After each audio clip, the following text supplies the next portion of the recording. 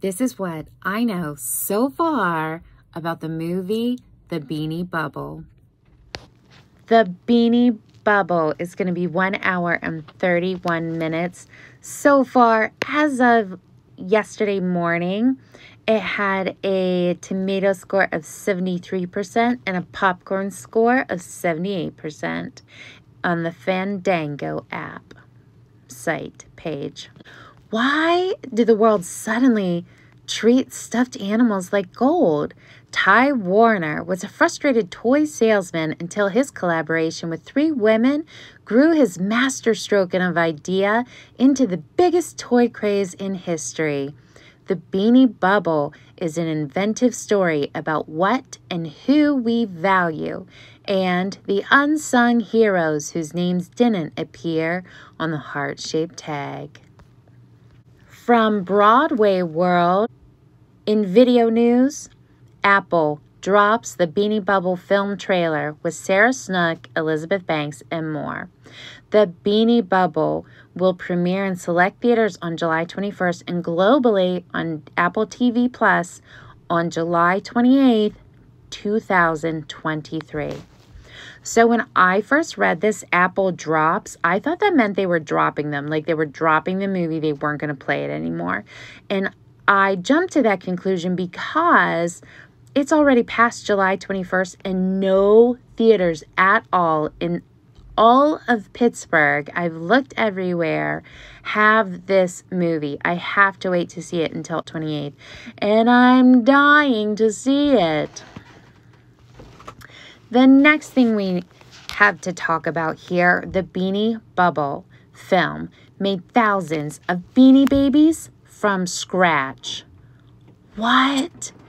Okay, so let's read what everybody else had to say about this. Well, they weren't going to buy them. They could have.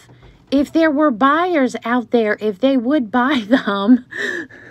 like, the market is so skewed. We have so many sellers and no buyers. Okay, okay. Let's read whatever it says.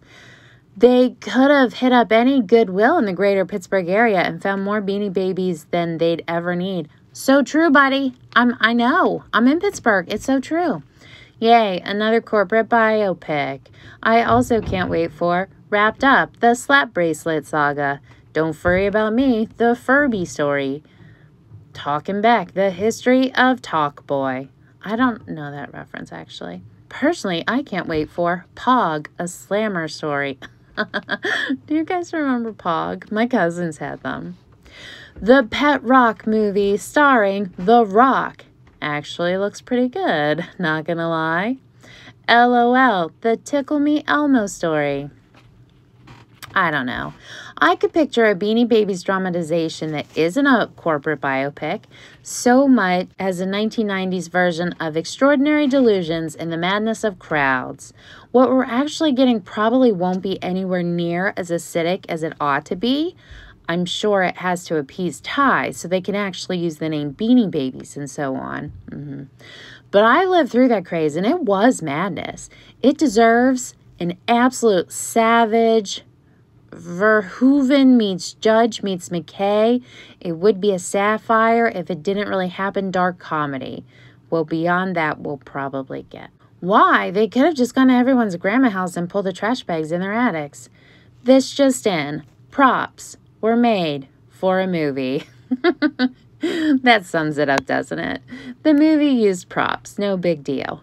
But agreed they could have just gotten all of ours because every single day I am flooded with people wanting to know if I want to buy their Beanie Baby collections. I don't. I already have too many. I have my own hoard. I don't want yours too. So I can't wait to see this movie. It is based off of a book, The Great Beanie Bubble, which was also fantastic. Highly recommend. Along with this, there was another HBO show about Beanie Babies uh, last year around Christmas that does go into more of the dark sides, the extraordinary delusions and the madness of crowds. Yeah, it totally does. So, Thanks for watching. Make sure you like, follow, subscribe, hit the notification bell so you're updated when I post a new video. And thanks for stopping by. Love yous.